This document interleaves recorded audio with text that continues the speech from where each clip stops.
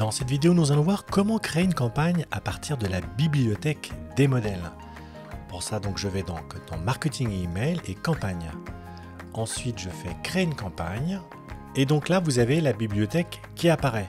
Vous avez sur la gauche un moteur de recherche. Vous avez ensuite un bouton en dessous qui vous permet d'ajouter un modèle euh, brut ou un modèle mais vierge. Donc euh, de toute façon, les deux, euh, l'un n'intègre pas de style et l'autre a du style, mais pour le coup, ce sont des modèles vierges.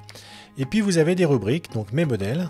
On verra ça dans une autre vidéo où vous pouvez créer vos propres modèles et des modèles par défaut proposés par l'application en fonction de la catégorie, c'est-à-dire notification, rendez-vous, offre, événement et newsletter. Si je vais par exemple dans la rubrique offre, vous voyez qu'il existe un certain nombre de modèles proposés. Il y a donc des modèles qui peuvent être à l'état brut ou des modèles avec du style. Pour sélectionner un modèle et surtout avoir l'aperçu avant, vous allez cliquer sur aperçu.